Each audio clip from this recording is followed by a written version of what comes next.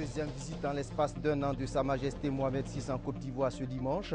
Le roi du Maroc entame une visite de cinq jours, visite qui sera marquée par la signature de plusieurs accords avec les autorités ivoiriennes dans le cadre du renforcement de la coopération entre les deux pays. Également ce soir, la visite du Premier ministre Daniel Cablan Duncan dans les locaux du Centre informatisé de gestion des services de transport routier à Trècheville. Ce centre devrait réduire le coût d'obtention du permis de conduire selon le Premier ministre. Vous l'entendrez dans ce journal. Et puis, pour terminer, nous irons en Ukraine après la destitution du président Viktor Yanukovych par le Parlement et la libération de l'opposante emprisonnée Yula Timochenko hier. L'ambiance est au recueillement à la place Maïdan. Bonsoir, mesdames et messieurs. Merci de suivre ce journal. Le roi du Maroc, Mohamed VI en Côte d'Ivoire, l'avion royal le transportant en provenance du Mali a foulé le tarmac de l'aéroport Félix Fouette-Boigny aux environs de 17h30 minutes.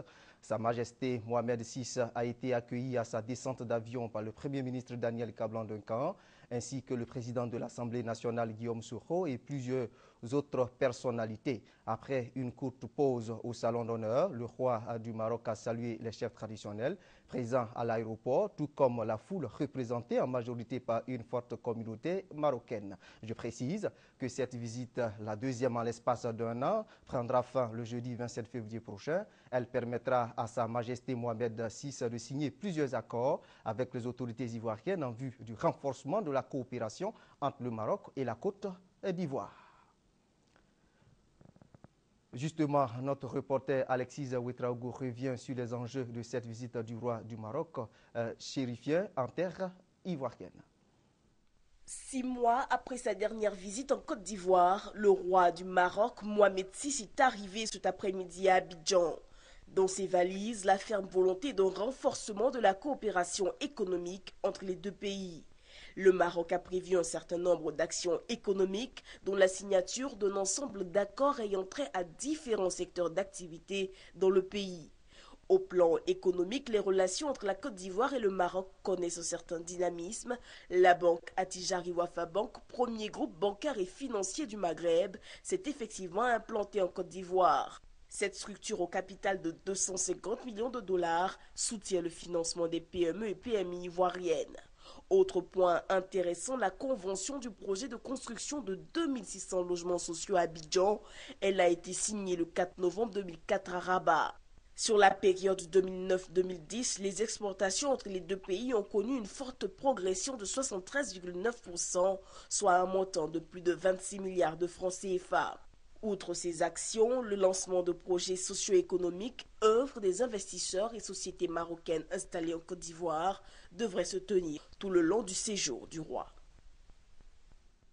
Et cette euh, modification du programme de travail du roi du royaume chérifien, initialement prévue pour 9 heures, le forum économique ivoiro-marocain débutera effectivement ce lundi 24 février 2014 à partir de 12 heures au Sofitel Hôtel Ivoire d'Abidjan sous la présidence effective de Sa Majesté le roi Mohamed VI.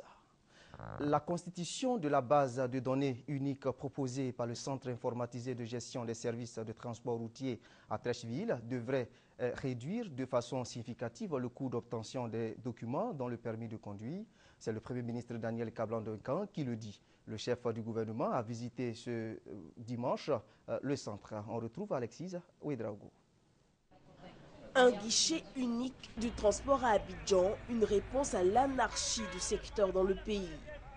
Le secteur du transport routier est caractérisé par le désordre, euh, la violence, euh, le racket et la corruption. Donc euh, aujourd'hui, avec ces centres provisoires que nous installons, nous rentrons de plein pied dans la modernité avec une utilisation à outrance des technologies de l'information. Le chef de gouvernement l'a visité ce vendredi. Daniel Cabandecon s'est rendu compte des procédures du centre. Les autres avantages offerts par ce service entièrement informatisé sont la transparence dans le traitement des documents, une sécurisation pour des contrôles rapides évitant la fraude. Dans son fonctionnement, le centre intégré centralisera toutes les demandes de documents relatifs au transport, carte grise, permis de conduire, carte de transporteur, l'enregistrement de l'usager dans ses locaux. Le demandeur sera affiché et sa carte d'identification accessible aux autres services sous tutelle. De manière globale, on doit pouvoir arriver à quelque chose de moderne, d'efficace et disons que qui évite les raquettes et qui évite donc les pertes de temps. Sept centres de ce type sont prévus dans le district d'Abidjan et une trentaine à l'intérieur du pays en vue de garantir l'accessibilité. Adossé sur un contrat BOT pour un coût d'investissement initial de 12 milliards de francs CFA, le centre devrait démarrer ses activités au début du mois de mars.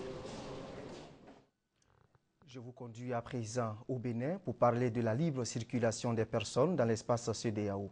En la matière, la Côte d'Ivoire est une bonne élève.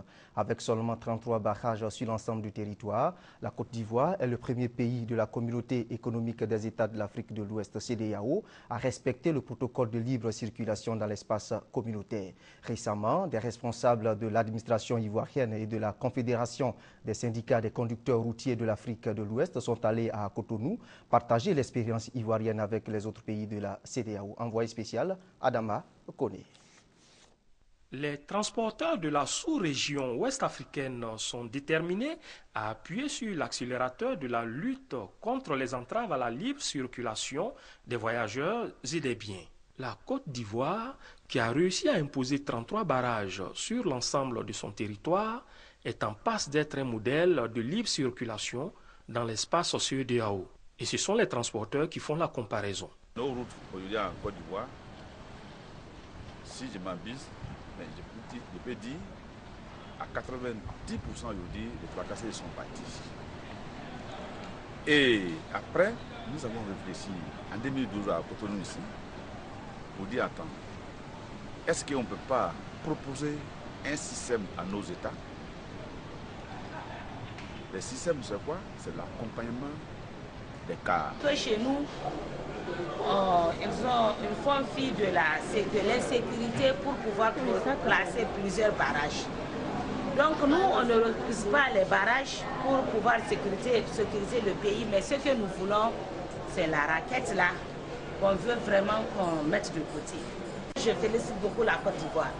Et puis je souhaite que le Niger aussi fasse, sinon plus, ce que la Côte d'Ivoire a pu faire. Une cinquantaine de transporteurs, policiers, douaniers, gendarmes venant de 13 pays de la CEDEAO se sont réunis à Cotonou, dans la capitale béninoise, du 15 au 20 février dernier pour partager l'expérience ivoirienne. Aujourd'hui, le gain est au niveau du temps. Là où des transports inter-États, un car qui quittait Abidjan et Lagos qui pouvait faire 3-4 jours, aujourd'hui en 24 heures il arrive et les sommes où là le gars payait un million de faux frais entre Abidjan et Lagos aujourd'hui sont à moins de 200 000 Donc vraiment, on dit que c'est un succès. Les vertus d'une fluidité routière dans l'espace communautaire sont considérables pour l'économie. Sans la liberté de circulation des personnes, des biens, des services et des capitaux, on ne peut pas réaliser l'intégration des économies. Le séminaire de Cotonou a été conjointement organisé par la Confédération des syndicats des conducteurs routiers de l'Afrique de l'Ouest, CSCRAO, présidée par l'Ivoirien Vafikone, et la Communauté économique des États de l'Afrique de l'Ouest, CEDEAO. Restons à l'étranger. Il s'est ouvert hier à Paris, en France, le 51e Salon de l'agriculture et rendez-vous du monde agricole auquel participe une délégation ivoirienne. Jean-Jacques Kwameala, reportage. Et c'est parti pour la 51e édition du Salon international de la culture de Paris. Pendant neuf jours, la France transforme la porte de Versailles en une grande ferme. 4000 animaux sont présents sur le site pour permettre aux agriculteurs et éleveurs de partager leur expérience, prendre des contacts et trouver des solutions à leurs difficultés, entre autres la crise du lait. Le président français François Hollande est venu très tôt ce samedi au salon pour l'ouverture, occasion d'exprimer son soutien au monde paysan. Pour cette année, le salon est placé sous le signe des jeunes agriculteurs. La France, elle ne produit pas beaucoup, on n'est pas autonome en, agneau, en viande d'agneau. quoi. Donc il faut relancer la filière ovine parce que c'est pas, c'est une filière qui est en déclin. Et là, aujourd'hui, il y a des programmes qui sont mis en œuvre pour justement faciliter les, les installations de jeunes. 1800 stands ont été montés à ce salon pour permettre aux visiteurs de toucher du doigt les réalités du monde agricole. Je viens au salon d'agriculture depuis l'âge de 5 ans et avant c'était vraiment la grande fête, la grande joie de voir plein d'animaux mais aujourd'hui avec le monde économique se réduit un peu et c'est un peu dommage. Quoi. La Côte d'Ivoire est présente à ce salon et déjà au premier jour, le retour est positif. Je suis en train de visiter les stands des pays frères. Ici, euh, je suis au niveau du stand euh, du cadre. Il ne faudrait pas seulement que notre collaboration soit pour l'extérieur avec les pays du Nord. Il faut qu'au niveau même sud-sud, on engage un partenariat de type euh, gagnant-gagnant. les premiers jours, on a eu quelques contacts. Il y en a qui sont venus pour savoir comment ils doivent investir en Côte d'Ivoire et tout ça. Donc on a eu quelques contacts, mais ça continue toujours. Ce dimanche, la 51e édition du Salon international de l'agriculture de Paris sera consacrée à la Côte d'Ivoire. J'ajoute que l'année dernière, le Salon de l'agriculture de Paris a enregistré 700 000 visiteurs. Retour en Côte d'Ivoire, direction Grand Acousin, c'est dans la sous-préfecture d'Agou, département d'Azopé. Les femmes de ce village ont décidé de lutter contre la faim et la pauvreté après la crise. Réunies en coopérative, ces femmes bénéficient du soutien de la ministre de la Solidarité, de la Famille, de la Femme et de l'Enfant, Anne Désiré Ouloto. Les explications avec Sylvie Touré. Une mobilisation des grands jours certainement le signe d'une détermination collective. Celle des femmes de Grand Acousin, elles viennent de ressusciter la coopérative du village, sacrifiée sur l'autel des divergences politiques. Ce jour sonne un nouveau départ pour tout le village, avec pour faire de lance les femmes. Elles entendent faire de la coopérative un instrument au service du développement et de la réconciliation. Nouveau départ donc, nouveau bureau, avec la caution physique et morale de la ministre de la Solidarité, de la Famille, de la Femme et de l'Enfant. Anne Désirée Ouleto rassure de son soutien à cette coopérative. En votre sein, vous avez dit, il y a toutes les confessions religieuses. Il y a plusieurs ethnies regroupées. Il y a des autochtones comme des allochtones. Dans votre coopérative, il y a des femmes qui veulent soutenir leurs époux. Il y a des femmes qui veulent soutenir leurs enfants. Il y a des femmes qui veulent soutenir leur communauté. Il y a des femmes qui veulent faire avancer le pays. Et moi, tant qu'il y aura des femmes pour faire avancer le pays, je serai toujours à côté d'elles. Un million de francs CFA, un don en espèces de la ministre pour joindre l'acte à la parole. Autre don, celui du secrétaire général du Conseil supérieur des rois et chefs traditionnels. Nanon Ndepo Dodo Didas a offert aux femmes un magasin de stockage. Pour lui, comme pour toutes les autorités présentes à la cérémonie, la réconciliation peut également se construire autour de projets de lutte contre la pauvreté. Retour de la BAD, la Banque africaine de développement à Abidjan. La ministre auprès du Premier ministre en charge de l'économie et des finances visite la cité Sina Trésor à Abata. Kabadiali est allé apprécier l'état d'avancement des travaux des, logements, 500, 500 euh, logements excusez, promis pour abriter le personnel de la BAD, des logements qui devraient être disponibles le 31 juin prochain. Un kilomètre de marche pour mieux apprécier les travaux. La ministre chargée de l'économie et des finances, Kabanyale, en visite dans la cité Sina Trésor à Abata, fait le constat de l'avancée des travaux de construction des logements du personnel de la Banque africaine de développement. Plus de 500 appartements sont mis à disposition pour faciliter le retour des agents de la BAD en Côte d'Ivoire, un appui salutaire selon la ministre Kabanyale. Le retour de la BAD est un projet qui est cher au président de la République. C'est un projet que le Premier ministre a pris à bras le corps pour organiser des réunions régulières et faire en sorte que toutes les conditions du retour soient réunies. Nous allons les accompagner pour faire en sorte que les maisons soient finies, qu'elles soient à la hauteur de la grande institution la BAD et que la suite donc des euh, travaux qui restent à faire soit euh, réalisée dans des conditions financières qui sont rassurantes pour les banquiers qui nous accompagnent. 3,4 milliards de francs CFA, c'est le financement qu'il faut encore pour achever la construction de la cité. Pour Karim Ouattara, secrétaire général du Sénat Trésor, la présence du ministre de l'économie et des finances sur les chantiers vient à point nommé. Nous savons que le gouvernement nous soutient dans notre élan et Madame le ministre, en leur nom, a également pris des engagements qu'elle va tenir.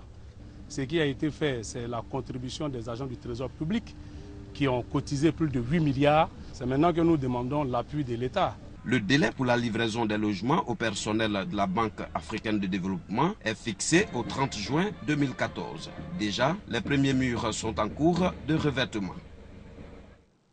500 logements devraient être disponibles en juin prochain à la cité Sina Trésor pour favoriser le retour de la BAD à son siège d'Abidjan. Un mot d'environnement. Le conseil municipal de Cocody a initié une journée de l'environnement. Thème choisi, je refuse de salir ma commune. Objectif, améliorer le cadre de vie des populations de Cocody et lutter contre l'insalubrité dans la commune. Grâce Kando, reportage. Un environnement de vie sain pour la population de Cocody. Vœu du conseil municipal. Une journée de l'environnement est donc initiée. Elle vise à pérenniser la lutte contre l'insalubrité urbaine, l'occupation anarchique du domaine public et la présence de panneaux publicitaires illégalement installés. Tout ceci pour susciter un changement de comportement chez les populations. Pour joindre l'acte à la parole, du matériel de salubrité a été remis aux responsables des différents quartiers de la commune de Cocody. Le maire Ngouaka Mathias exhorte les populations à avoir le réflexe de la propriété de leur milieu de vie et garder les vertus de l'hygiène comme vecteur de santé publique. C'est le quartier Cité des Arts, au regard de ses caractéristiques urbaines et environnementales, qui a été choisi pour abriter la première journée de l'environnement. Basile Eba, le directeur général de la Société de distribution d'eau de Côte d'Ivoire, Sodeci, était ce dimanche l'invité de Dimanche Magazine présenté par Alvorassa. Ils ont parlé des difficultés d'accès à l'eau potable en Afrique et principalement en Côte d'Ivoire. Nous vous proposons un extrait de cet entretien. On estime euh, à l'heure actuelle à 40% le pourcentage de la population africaine qui n'a pas accès à l'eau potable, c'est-à-dire environ 400 millions de personnes. Et on estime à 60% le pourcentage de la population qui n'a pas accès à des services d'assainissement adéquats, c'est-à-dire environ 600 millions de personnes.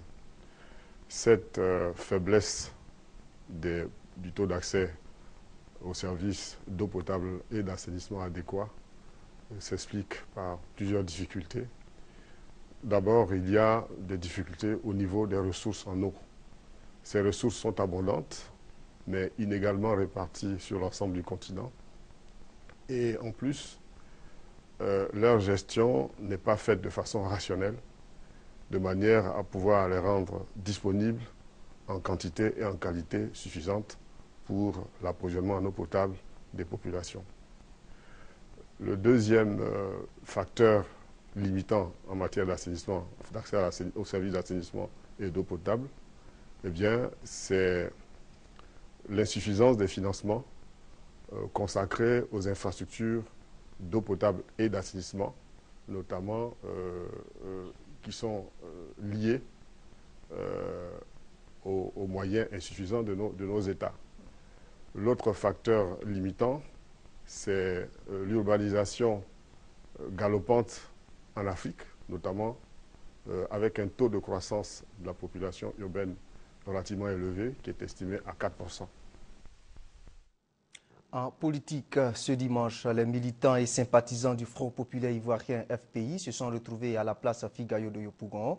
Le président du FPI, Pascal Afinguessan, a mis les militants de son parti en rang de bataille pour l'application des résolutions de la 8e convention qui s'est achevée hier, à savoir la réconciliation et la reconquête du pouvoir d'État. Le compte-rendu est signé Léon Brou.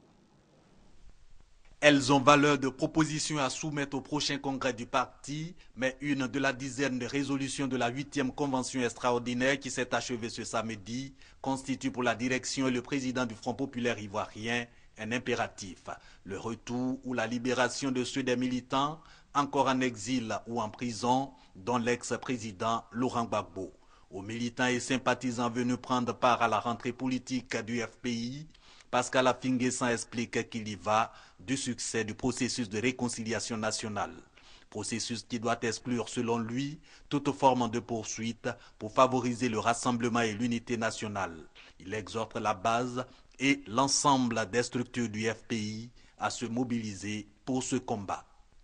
Restauration de l'unité nationale à travers la réconciliation. Restauration des institutions pour que nous ayons des institutions légitimes qui puissent permettre d'organiser demain des élections apaisées, transparentes et crédibles. Cette place nous était pratiquement interdite il y a deux ans. Nous venons de la reconquérir.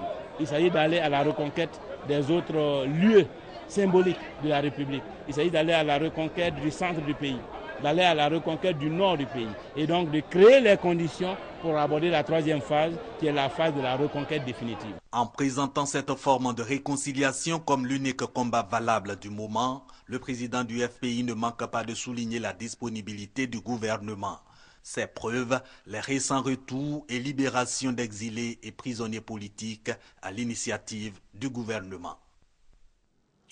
La représentation européenne du Congrès panafricain pour la justice et l'égalité des peuples COGEP et la coalition de la jeunesse patriotique pour la paix et la réconciliation soutiennent le processus de paix et de réconciliation. Elles l'ont signifié au cours d'un point presse au baron de Yopougon. On en sait plus avec Abou Sanogo. La représentation européenne du Congrès panafricain pour la justice et l'égalité des peuples, COGEP, et la coalition de la jeunesse patriotique Ensemble pour la paix et la réconciliation. Au cours d'une conférence de presse au baron de Yopougon, Patrice Kouté et ses camarades ont exprimé aux autorités ivoiriennes leur engagement et leur adhésion au processus de réconciliation nationale. Ils s'engagent donc à tout mettre en œuvre pour qu'il soit effectif. Qu'on soit au jour d'aujourd'hui de tel ou tel chapelle politique, l'essentiel, c'est d'être ivoirien et avoir compris que la Côte d'Ivoire peut sortir de là où elle va. Nous nous inscrivons, je dis bien résolument, dans le processus de réconciliation. Quant au président de la coalition des jeunes patriotes pour la paix et la réconciliation, Zadi Djedje, il a invité les Ivoiriens encore réticents à s'inscrire dans le processus de paix. La Côte d'Ivoire a besoin de se réconcilier. La Côte d'Ivoire a besoin d'être développée pour être une grande nation comme les autres pays. C'est pourquoi je demande à toi, militant du Front populaire ivoirien, à toi, militant du RDA, à toi, militant du PDCI, de pardonner. Regardez l'avenir de la jeunesse que nous sommes. Zadi Djedji et Patrice Kouté avaient à leur côté Henri Jodidi et Thierry Kadji, des leaders patriotiques vivant également en Europe. Une délégation de l'UDPCI, conduite par son premier responsable, Albert Mabritois, que c'était ce vendredi au siège de l'Assemblée des régions de Côte d'Ivoire, à RCI. Le président de l'Union pour la démocratie et la paix en Côte d'Ivoire, UDPCI, est allé rencontrer les présidents des conseils généraux. Objectif, unir leurs forces autour du président de la République Alassane Ouattara pour apporter le développement aux populations. Victorine Yao, Yobouye. Albert Mabritois l'a dit, l'UDPCI n'aura pas de candidat à la présidentielle de 2015. Ce parti politique, membre du RHDP, a décidé de soutenir le président de la République Alassane Ouattara en accompagnant ses actions de développement sur le terrain. De ce fait, l'Assemblée des régions de Côte d'Ivoire, ARCI, se présente comme le partenaire idéal pour l'UDPCI. Vous êtes euh, ceux à qui, euh, justement, le président de la République a confié la mission de prolonger son action euh, de développement sur, sur le terrain. Vous comprenez donc que nous ne pouvons pas avancer dans cette mission-là sans venir échanger avec vous, sans obtenir votre adhésion, votre soutien. Le président de l'RCI, Jano Oussou, a relevé que la majorité des présidents des 31 régions du pays est issue du RHDP. Comme pour dire que l'RCI et l'UDPCI partagent la même vision pour la Côte d'Ivoire. Un parti du RHDP qui prend l'initiative pour dire consolidons notre fraternité, consolidons le travail que nous sommes en train de faire. Nous en prenons acte. Les échanges entre les responsables de l'UDPCI et les présidents de conseils régionaux devraient permettre de déterminer les différents axes de coopération.